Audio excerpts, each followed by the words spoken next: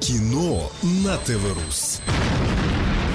В компании проблемы серьезные. Деньги, они пахнут. Ты знаешь, что нужно сохранить и скопировать на флешку. Да знаю. И по какому поводу такой шухер? Направленный фугас. Процесс завершен. Прошу. У вас сейчас в кармане порядка 320 миллионов долларов суммарного оборота. Теперь вы главный носитель всех тайн. Ну, кроме меня и моей главы, конечно. Пусть он уйдет. Кто? Привет, Андрей. Теперь давай флешку. Я спрятал. Спокойно. Гаси свет, пиджак в зубы за мной. Я тебя похищаю. Извините, Андрей Дмитриевич, но я вынужден... Стоять! Да, любимая? Еще не поздно. Слишком поздно. Тебя могут убить, Андрей. Не терять нечего, кроме собственной мерзости. Евгений Стычкин, Илья Шакунов и Екатерина Гусева в фильме «Флешка». В воскресенье на ТВ-Рус.